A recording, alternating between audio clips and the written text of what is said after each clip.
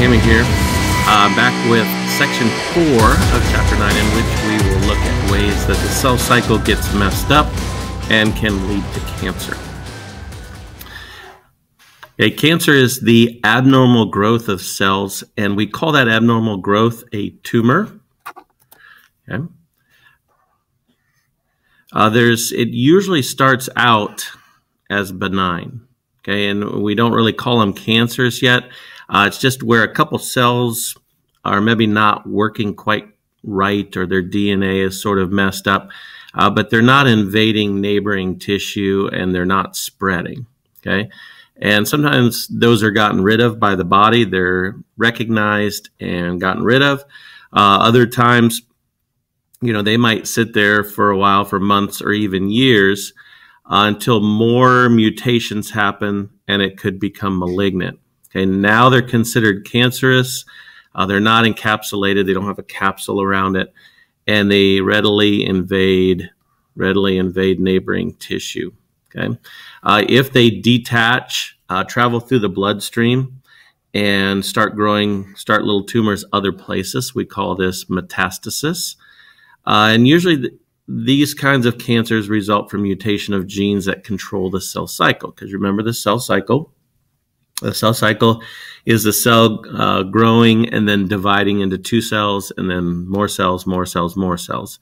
And again, the development of cancer can be gradual, multi step, uh, often takes more than one mutation uh, that kind of add on each other uh, that will turn the cell into more of a cancer cell that might spread.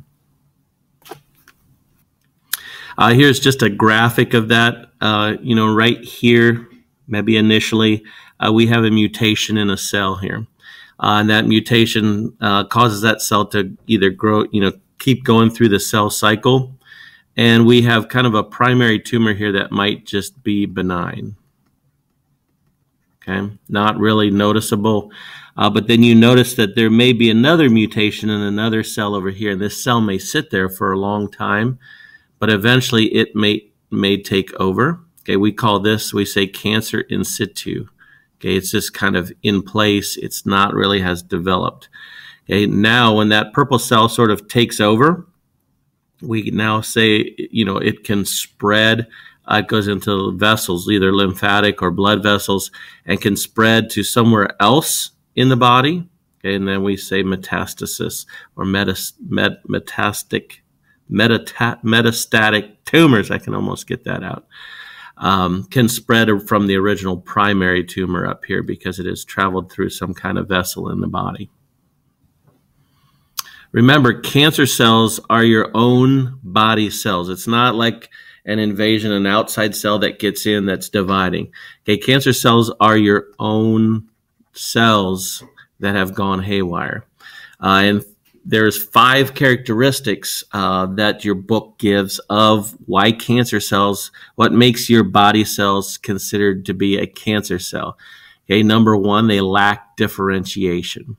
Okay, in other words, they're not specialized. They don't necessarily do, like, say, it's a liver cancer cell, it doesn't do what a normal liver cell should be doing. Okay, it's there with all the other liver cells, but it's not functioning, it's not helping the liver to function.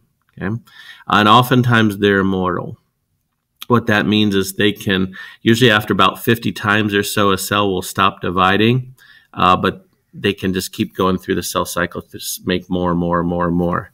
Uh, number two, because of the mutations to the DNA, uh, they often have abnormal nuclei uh, can be enlarged from extra copies of genes or extra numbers of chromosomes. It might be missing chromosomes. Okay, but somehow the DNA, okay, the DNA is messed up somehow. Uh, number three, uh, we talked about this a little bit last unit. They do not go undergo apoptosis. Okay, normally damaged DNA will lead to programmed cell death. Okay, uh, there's uh, the genes that control this might get messed up, and so they don't go undergo apoptosis, and they are abnormal, and they just sort of sit there and they're not gotten rid of like they should be. Uh, number four, they form tumors. We already kind of talked about this. Uh, normally, when cells grow, uh, cells grow, they have what we call contact inhibition. In other words, if there's a cut or a cell dies or something, the cells will divide. But once they touch, okay, once they make contact, the cell cycle is inhibited. Okay, cell division is inhibited. They don't just keep growing and piling up on each other. Okay, they grow till you get that even like sheet of tissues. Uh, with cancerous cells, they lose that control and they start to pile up and make tumors. Uh, number five, they undergo metastasis. Uh, we just talked about this. This is where the tumor fragments and then can spread through vessels, either lymphatic or blood vessels, to other places in the body. And oftentimes the tumors will grow so large that uh, blood supply is an issue. Uh, they can't get enough oxygen and nutrients.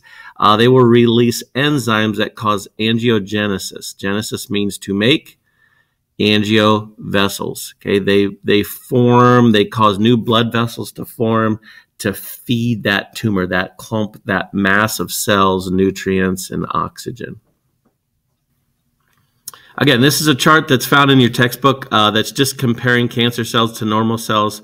Uh, just the five or six things that we talked about: differentiated, okay, undifferentiated, uh, the abnormal nuclei. They do not go, undergo apoptosis no contact inhibition, uh, and they're disorganized, multi-layered. Again, that kind of goes with the contact uh, inhibition.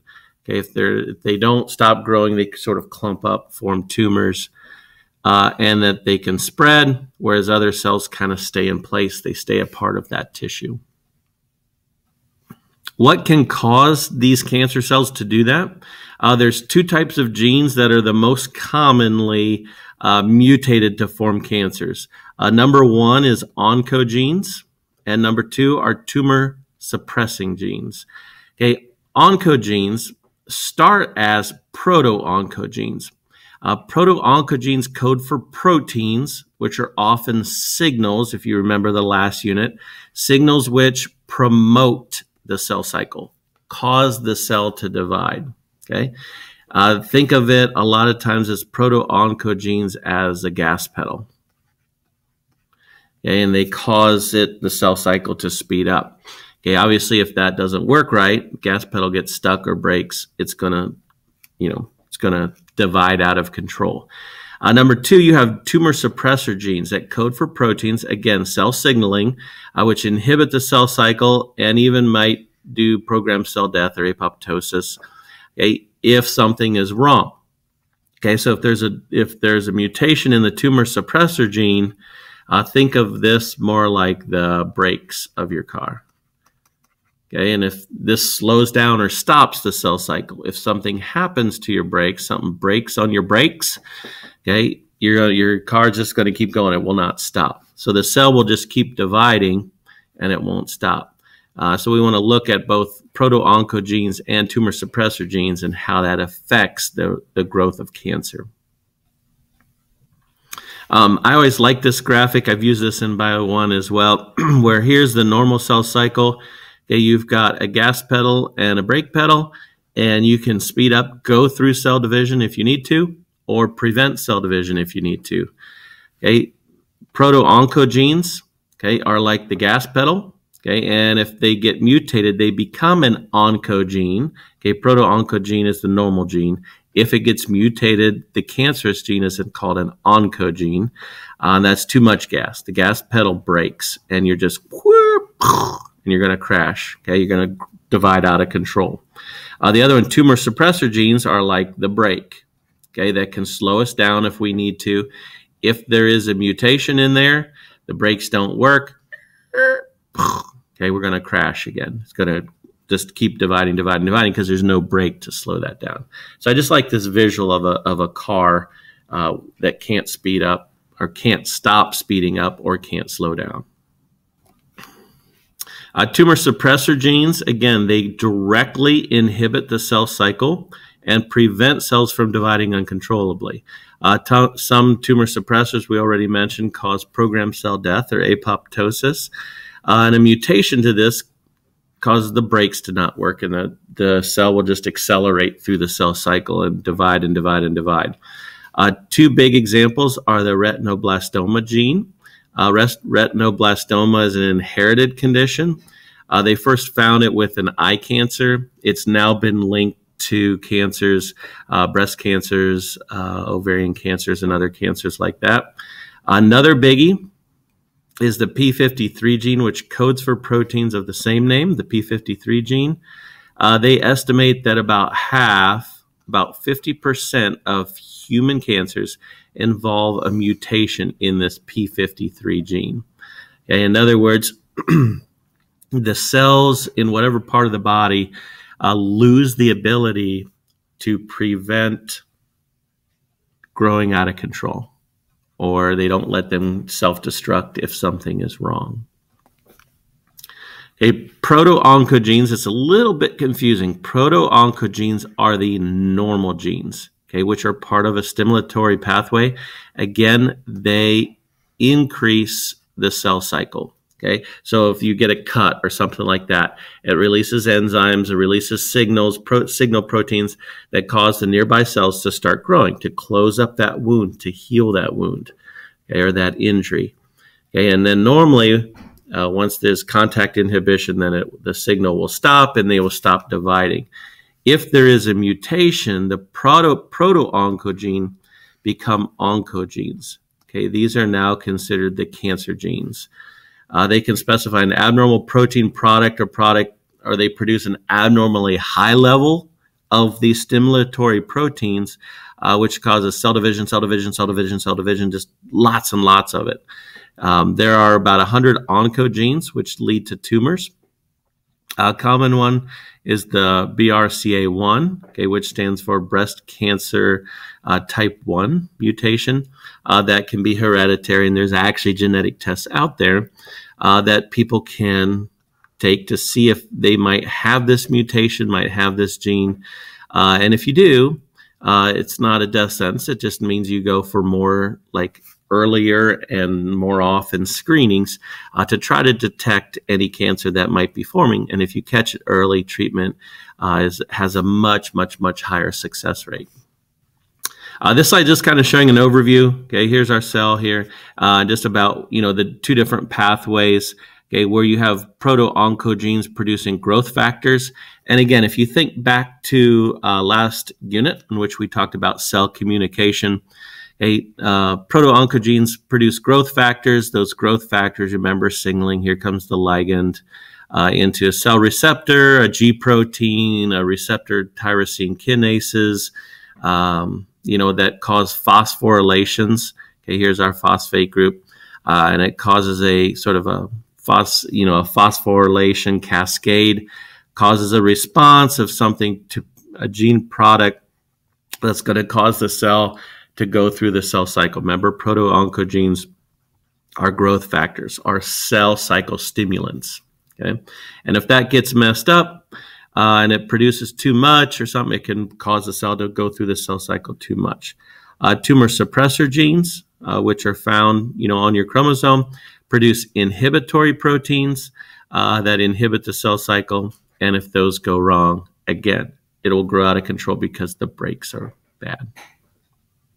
There are other there are other causes of cancer. Uh, one of the other big ones, besides the proto-oncogenes and the tumor suppressor genes, is this idea of telomeres.